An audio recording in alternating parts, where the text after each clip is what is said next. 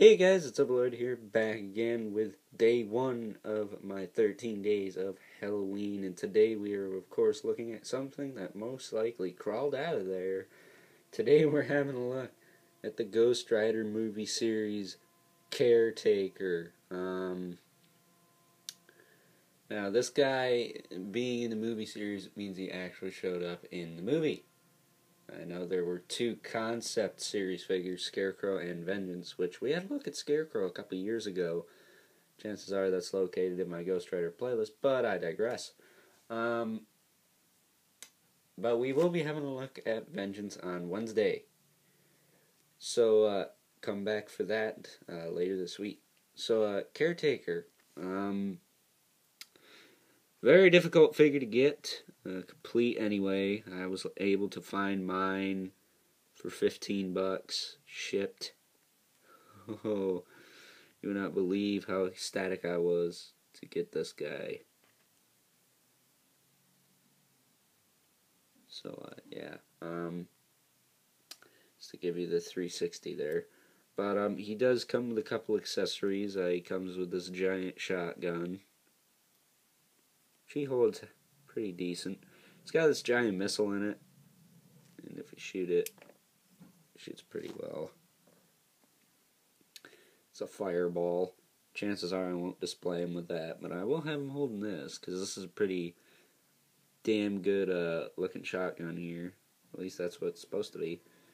It's all held out, and it's got all the bones sticking out, like the spinal cord, and then it's got the handle there and all this fire stuff, and then the tip is metal, so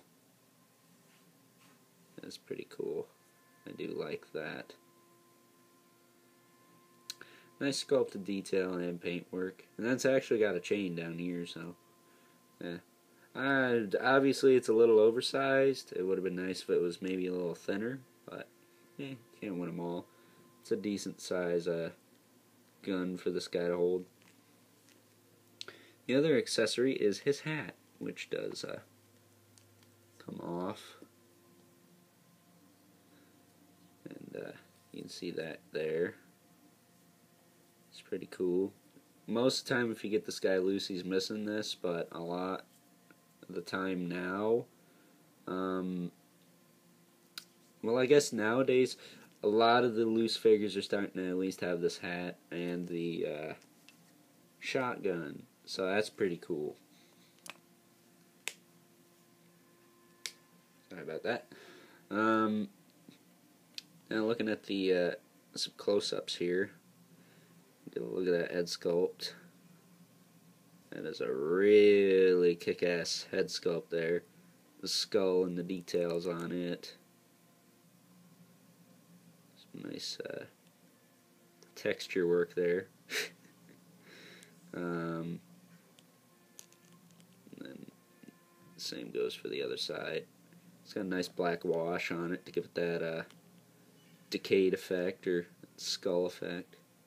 He's got an articulated jaw too, which is really cool. So you can have him uh, talk, you know. so uh, that's cool. But his head is on a ball joint. It doesn't have the greatest range of movement, but it looks up and down a little bit and it rotates. And this fire thing here rotates. It does not hinge or anything. It just rotates. And it is a softer plastic, so it's more pliable. And uh, check out the check out this craziness. There are his ribs there being engulfed by flame. Pretty cool uh, sculpt work there. Uh, I do dig that.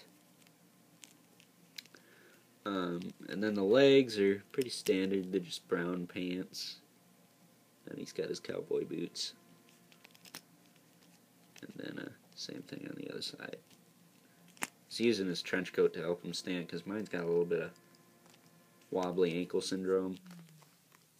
Some of the figures from this line have that, some of them don't. It just depends on how lucky you get. Uh, his arms uh, got a pretty good sculpt on those too hands there. These flame pieces rotate separately from the wrist, so you can rotate just you can rotate the wrist here, or you can rotate the cuff. And you can rotate both. So, and his wrist has a hinge there. A lot of these fi figures actually have individual figure finger articulation, eh, depending on uh, what their gimmick is. This guy, it would have been nice to have that, but he's got the small hands, so probably wouldn't have lasted long. But uh, getting into the articulation, he does have a uh, universal joint at the shoulder, so it moves up that much, and then it goes back down. It will rotate a full 360. It's just a bitch to do, so I'm not going to do it. Um, he does have a bicep swivel, gives you a full 360.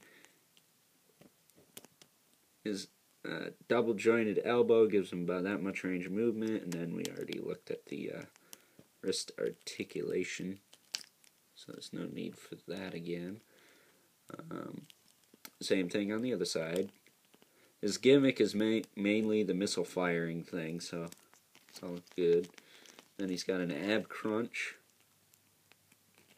which doesn't really move that much. It's not that effective unless I try and get in there and move it myself. Oh, yeah. Can't get it to click forward once.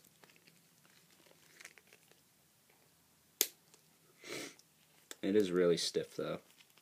Really, really solid ratchet joint up in there. Um, he's got a waist rotation. Uh, he's got T-jointed hips. They move in and out. Hindered by this coat, which is a harder plastic. Uh, he's got a thigh swivel. He's got double jointed knees. Which it's hard enough just to bend one bend both.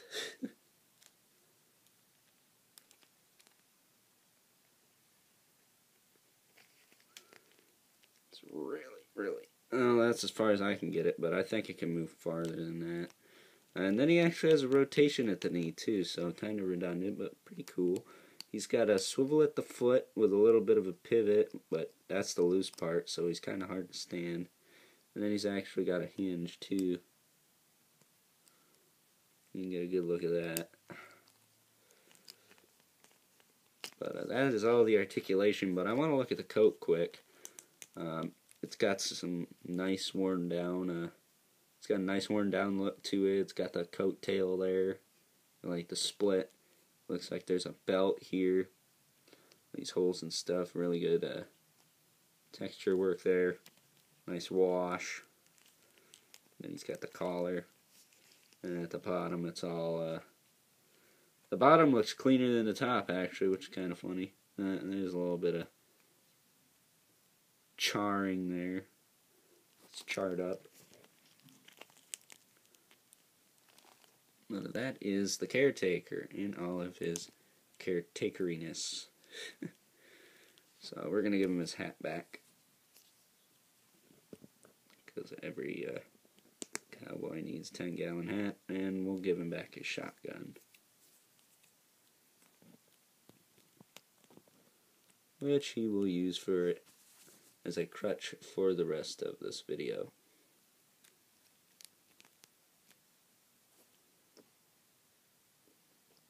You know, if he wants to fall forward and not backward.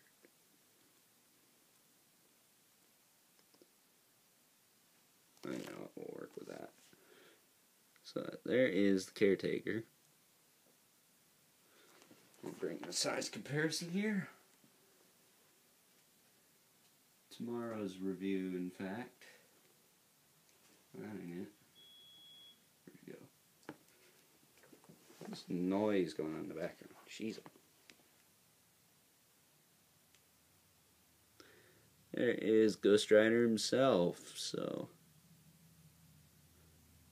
As you can see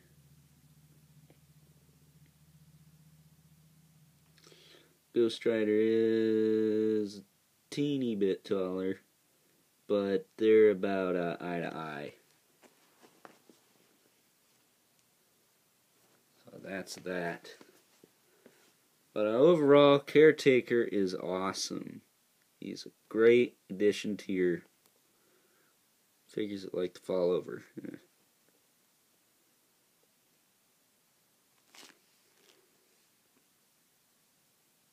Uh, he is a great addition to your uh, Ghost Rider collection and an excellent uh, figure for your Marvel Legends collection. So I'm going to give him a 10 out of 10. Mine, I got loose, so that's why his ankle joints are a bitch, but uh, I'm not going to put that against him. I still say pick this guy up if you can. So uh, until next time, guys, I'll catch you later with another edition of the 13 Days Halloween. See you guys later.